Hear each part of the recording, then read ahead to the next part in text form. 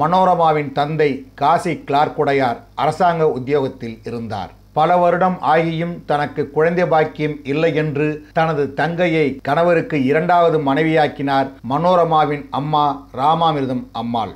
தங்கை தாயாராகும் முன்பே தானே தாயாரானார். ஆனால் புது மனைவியின் மீது கொண்ட மோகத்தால் தன்னை கணவன் இரண்டாம் நிலைக்கு தள்ளியதை அவரால் தாங்கிக் கொள்ள முடியவில்லை.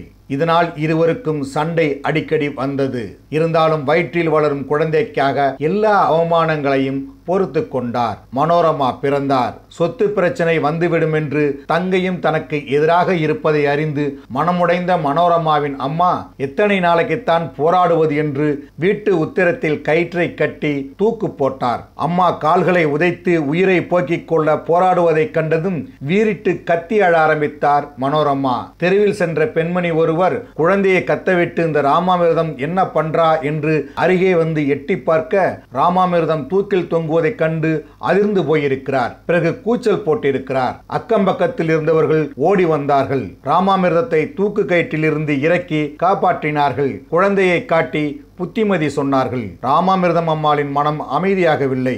ஊரை கூட்டி தன்னை காப்பாற்றிய மகள் மனோரமாவை கட்டிப்பிடித்து அழுது கொண்டிருந்தார். வாழ்க்கையை வெறுத்து இந்த திடீர் முடிவு எடுக்க காரணமான தனது கணவனையும் தங்கையையும் நினைத்து வேதனைப்பட்ட அவர் இனி இந்த ஊரில் இவர்களுக்கு முன்னால் இருக்கக்கூடாது என்று முடிவு செய்தார். கைக்குழந்தையை தூக்கி கொண்டு அன்று இரவே மன்னார்குடியை விட்டு வெளியேறினார். காரைக்குடிக்கு அருகே உள்ள பள்ளத்தூரில் பலகார கடை வைத்து தனது பிழைப்பை தொடங்கினார் ராமாமிர்தம் அம்மாள். மனோரமாவையும் பள்ளிக்கு அனுப்பினார். எப்போதாவது அங்கு உள்ள சினிமா கொட்டகையில் இரண்டாவது ஆட்டம் படம் பார்க்க செல்வார். அப்போது மனோரமாவையும் அழைத்து செல்வார். மனோரமாவை அங்குள்ளவர்கள் பாப்பா என்று அழைப்பார்களாம். நேற்று என்ன படம் பார்த்தே? இந்த படத்தில் என்ன பாடல் என்று அவரை பாப்பா பாடு பாடு என்று பாடச் சொல்லி கேட்பார்களாம். இப்படி அவர் மற்றவர்களுக்காகவும் பாடி பாடி அது பயிற்சியாக அமைந்துவிட பிறகு ஊரில் யார் வீட்டில் என்ன விசேஷ நிகழ்ச்சி நடந்தாலும் அங்கே அவரை அழைத்து சென்று பாட வைப்பார்களாம். பள்ளி விழாக்களிலும் பாடி பாராட்டுக்களை பெற்றிருக்கிறார் மனோரமா. பலகாரக் கடையில் அடுப்பு அனலில் நேரங்காலம் பார்க்காமல் பலகாரம் சுட்டு வெந்து நொந்த ராமாமிர்தம் அம்மாள் ஒழுங்காக வயிற்றுக்கு சாப்பிடுவது கிடையாது. இதனால் குடல் புண்ணும் இரத்தப்போக்கும் ஏற்பட்டு பல மாதங்கள் மருத்துவமனையில் கிடந்தார். அம்மாவுக்கு துணையாக மனோரமாவும் மருத்துவமனையிலேயே இருந்தார். இதனால் மனோரமாவின் பள்ளி படிப்பு பாலானது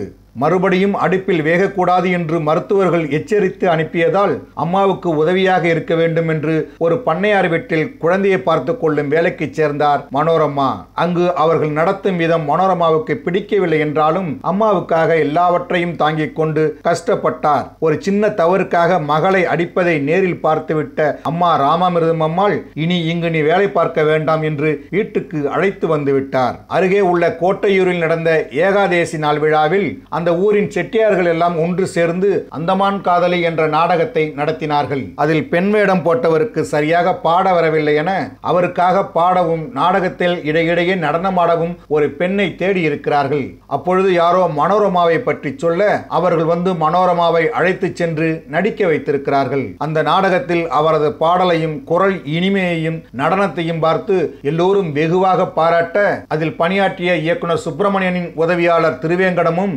ஹார்மோனியம் வாசித்த தியாகராஜன் என்பவரும் அவரை பாராட்டி ஆசி கூறியதுடன் கோபி சாந்தாய் என்கிற அவரது பெயரை மனோரமா என்று வைத்துக் கொள்ளும்படி ஆலோசனை தெரிவித்து நடிக்கச் சொல்லியிருக்கின்றனர். அந்த நாடகத்திற்கு எலக்ட்ரீசியனாக இருந்த பால்ராஜ் புதுக்கோட்டையில் நடந்த வீதியின் விசித்திரம் என்ற நாடகத்தில் இரண்டாவது கதாநாயகியாக நடிக்க ஏற்பாடு செய்து கொடுத்திருக்கிறார். இதையடுத்து யார் மகன் என்ற நாடகத்தில் கதாநாயகியாக நடித்தார் மனோரமா. அந்த நாடகத்தை எழுதி தயாரித்து அரங்கேற்றியவர் எலக்ட்ரீசியன் பால்ராஜ். பிறகு தொடர்ந்து நாடக வாய்ப்புகள் மனோரமாவுக்கு வரத் தொடங்கின. தனது பனிரெண்டாவது வயதில் நாடகத்துறைக்குள் பள்ளத்தூர் பாப்பா மனோரமா என்று நுழைந்த மனோரமா பல நாடகங்களில் தொடர்ந்து நடித்து நாடக உலக ராணி என்று போற்றும் அளவிற்கு உயர்ந்தார். அதன் பிறகு முத்துராமனுடன் புயலுக்கு பின் நாடகத்தில் பொள்ளாச்சியில் நடித்தவர் மணிமகுடம் என்கிற நாடகத்தில் நடிக்க சென்னை சென்னைக்கு வந்திருக்கிறார். சென்னையில் சில நாடகங்களில் நடிக்க வாய்ப்புகள் கிடைத்தது.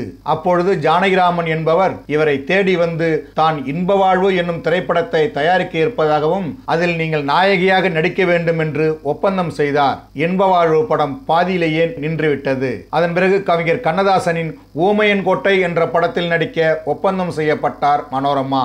அந்த படமும் ஆரம்பத்திலேயே நின்றுவிடவே மிகவும் மனமுடைந்து போனார் மனோரமா. நாடகத்தில் பெரிய பெயர் புகழ் பெற்றுவிட்டோம். சினிமாவில் நாயகியாக நடிக்க முடியவில்லையே என்று கலங்கினார். மீண்டும் நாடகத்தில் நடிக்க மதுரை பக்கமே சென்று விடலாம் என்று முடிவு செய்த போது மறுபடியும் கவிஞர் கண்ணதாசனிடமிருந்து அழைப்பு வந்தது.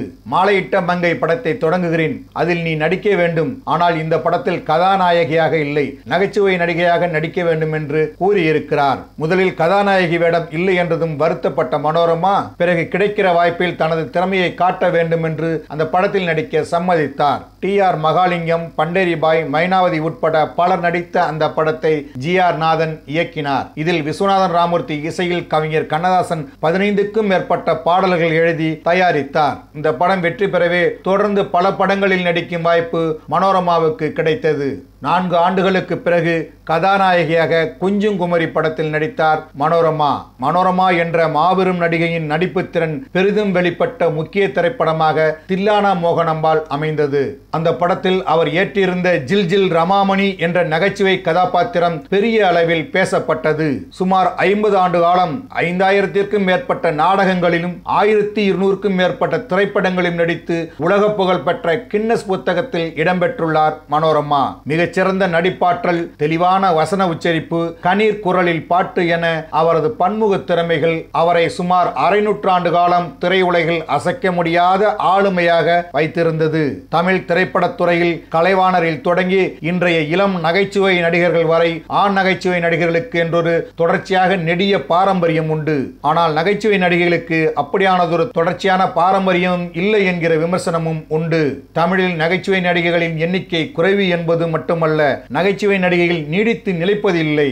நகைச்சுவைக்கென வரும் நடிகைகள் குறைவான காலத்தில் கிடைக்கும் வாய்ப்புகளில் பிரகாசித்துவிட்டு ஒதுங்கி விடுகிறார்கள் ஆனால் மனோரமா அதிலும் மாறுபட்டவர். பெருமளவு ஆண்களின் ஆதிக்கத்துக்கு உட்பட்டதொரு துறையாக வர்ணிக்கப்படும் தமிழ் திரைப்படத் துறையில் அரை நூற்றாண்டு காலத்திற்கு மேலாக அசைக்க முடியாத நடிகையாக நிலைத்திருந்தவர் ஆட்சி என்று அன்பு கலந்த மரியாதையுடன் அழைக்கப்பட்டவர் மனோரமா.